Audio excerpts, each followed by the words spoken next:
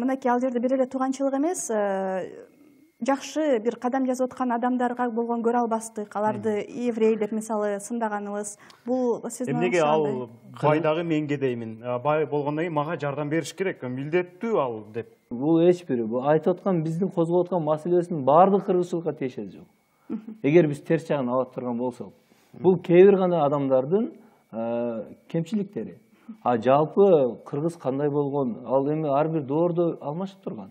Балким бүгүн доордо э, бир адам ушундай көз караш менен карап аткан болсо ага ошондой көрүнүшү мүмкүн. А мен үчүн кыргыздар бул сабырдуу эркиндикти жакшы көргөн э, бирөөгө кул болгонду каалабаган э, ушундай бир баатыр мүнөз эл деп билем мен. Ошон үчүн бул жерде ар бир адамдын пикири болушу мүмкүн да. алия башынан бери угуп отурганда кичине комментарий берип коеюн дегем баягы тууганчылдык биздин аябай жакшы сапатыбыз деп атпайсыңарбы мен ага кошулам Э, албетте биздин аябай ушундай тууганчыл болгондуктан кыргыздар ушул күнгө чейин кандай десем орусча айтканда выживать этип келатабыз э Э, мен ага каршы эмесмин туугандар бири бирине сөзсүз жардам берсин албетте мисалы менин туугандарым аябай бир оор абалда болуп турса мен колумда бар болуп турса мен эмнеге аларга жардам бербешим керек? Мындай аябай экстремальный мисалы бирөөнүн ооруп калса же бир нерсе болуп калса жардам берем сөзсүз мен айтып кетчү нерсем эмне үчүн баягы мителик деп э, баягы термин колдонуп кетти бул жерде жардам бериш керек. Ошо жардам бергенге жараша ошол киши андан ары өзү ошо кыбырап кетиш керек да.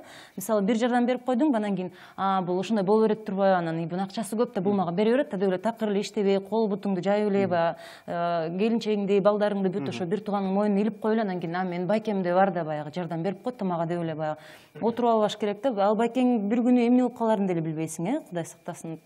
Кандай ар кандай да жагдайлар болот алия ушул жерде бул сиз айтып атканыңыз ушул айтып атат да бул ошол адамдын кемчилиги да.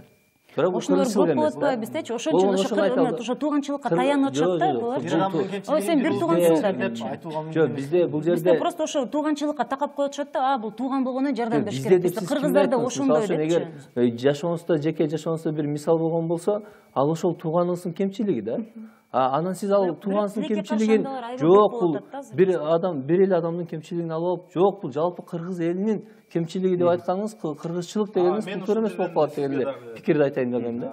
Өзүмдүн пикиримди айта кетейин алиянын айтканы таптакыр сиз айтып аткандан э, тескери нерсени айтып атат алия айтып атат да биз эмнеге ошол э, баардык эле биздин эле кыргыздарга эмес башка эле улуттардагы адамдарга таандык э, жакшы болобу жаман болобу э, сапаттарды эмнеге биз кыргызчылык деп атабыз мисалы үчүн кечигип келген да?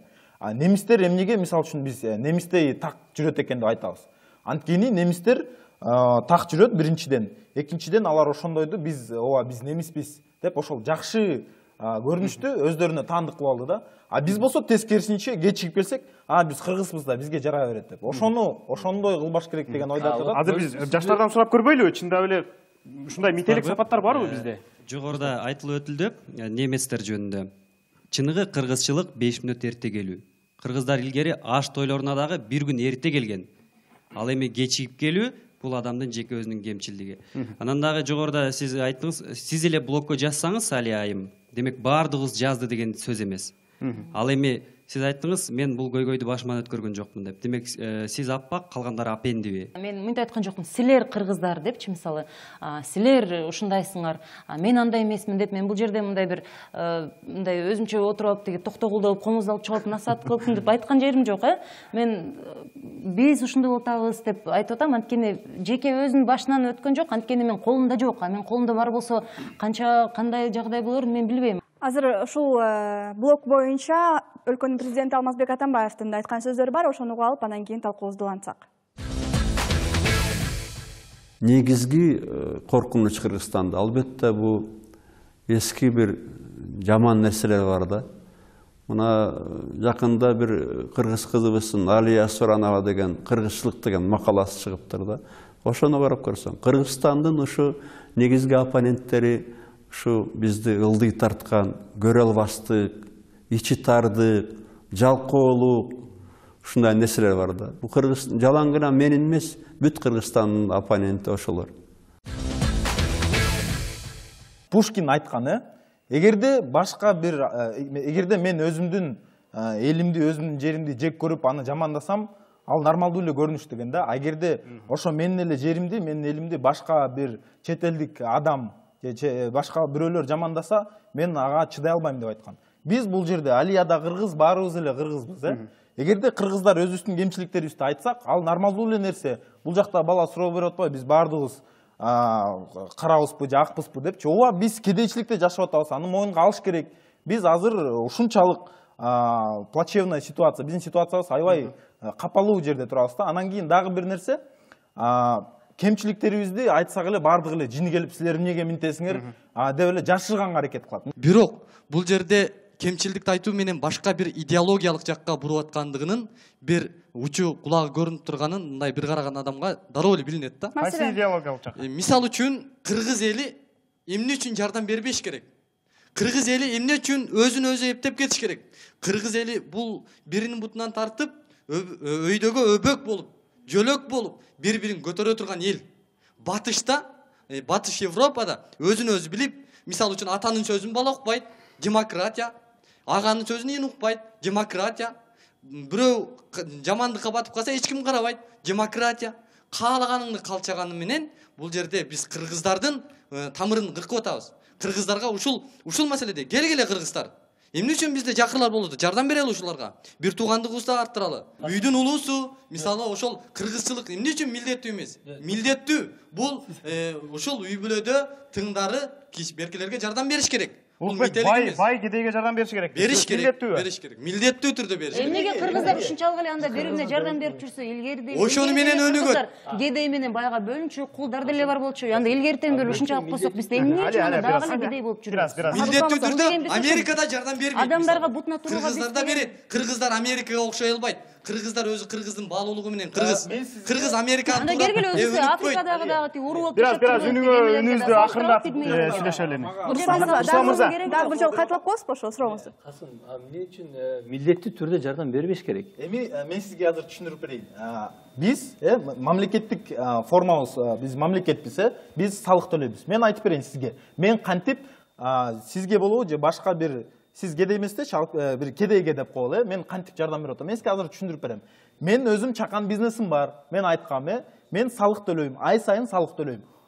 соц фондко тииге буга ошол салыктан алынып мамлекетке ошол акча барат мендейлер дагы көп да ошолордун акчасынан анан жанагы детдомдорго ата энеси таштап кеткен балдарга ошолорго акча бөлүнөт интернаттарга кедейлерге атайын бир программалар ачылып ошол акча ошол жака барат бир эле көрүнүштөгү кыргызчылыктын эки маанисин?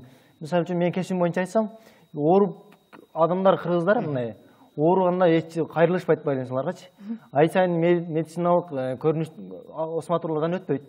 Ошол мезгилден негизинен оору аябай оорлошуп кеткенден больницага түшөт. Больницага түшкөндөн кийин именно кыргыз улутундагылар келип кайтип жардам берет да мындай сурап каралашып жардам берип тура албаса көтөрүп барып ал жакта бул жактагачы ал эми башка улуттун өкүлдөрү ошол мезгилдерде жардам бербей коет. Ата энесиби койт баласыбы жакын адамы болсо дагы азыр башка кыргыздар болсо жамандабай эле тууган уругу келип полностью жардам беришет да ошондойчу кыздар сантип тиги башкалардын кемчиликтерин айтып өзүбүздү актаган бул эң начар көрүнүш да менин оюмча бул жерде мындай да. Мисалы үчүн гүлдөн жылан уу жыйнаса биздин арылар болсо бал жыйнап атат эми бул жерден кыргызчылык деп туура эмес теманы атап алдык болуш керек да сиз өзүңүздүн оюңуздучу бул жерден атты ит деп атап алганга тете болуп калды эми мындай мындай мукамдуу булбулдун үнүн какылдаган карга түшүнбөйт бул жерде ким булбул ким карга билбейбиз эми бир пикирге келели да. Балким сиз кыргызчылык эмес мындай биздин кемчиликтер деп атамаксызбы мындай биздин кемчиликтер деп атасак болот эле. Эми бул жерде мындай болуп атат баардыгыбыз бир туугандар бир туугандар болуп кетпедикпи эми жакшы уул элдин эрке серкесиндей дейт калкынын калың жүндүү көрпөсүндөй жакшы адам бир тууганына жардам берет анын жүзү орустун күйбөй бышкан бөлкөсүндөй дейт да. Мен алияга бир суроо берсем болобу бул жерде мындай. Уланта бериңиз бул жерде мындай болуп атат да биз бир туугандарга жардам беришибиз керек милдеттүү түрдө мисалы үчүн мен өзүмө мисал коюп кетейин да башыман өткөн бизде бир тайжан бар бир эле ошол шаарда бир эле тайжан бар болчу баарыбыз тим эле биздин бир туугандардын ак үйү да ал түз эле келебиз ошого ошонун бутубуздан турабыз анан өйдө кетебиз анан жардам беребиз. Эгерде ал тайжан болбогондо биз болсо шаарга келип окуй албайт ал болчубуз бечара тайжаңыз кандай ойдо болду экен? Баягылар кайда кайра келе атышат. Ал тайжам ал сыймыктануу менен жардам берет. Анткени биз мисалы үчүн алмага суу куябыз андан мөмө алабыз да ал бизге суу куюп атат демек мөмө алат да сер чыгып ошону түшүнүп атпайсыңар кайра мөмө болуп берип атасыңар А сиздин тууганыңыз мүмкүн кемчиликтүү да болуп ичинен жеп атпайбы жок сиздики мындай болуп атат да сиздин тууганыңыз жөнүндө сүйлөшөлү э экөөсү мындай кылып жекеме жекечи эми Бияка келбейсиз бул жерде мындай болуп атат да сиз өзүңүз макул бир бир адамды көргөндүрсүз ал адамдын кемчилиги а бул жерде мисалы үчүн э, касым байке айтып өтпөдүбү мисалы үчүн немистер биз такпыз деп сыймыктанды а биз айкөлбүз биз меймандоспуз деп биз ошол жагыбыздан сыймыктансак болот макул макул достор бул эми бир туугандар жагын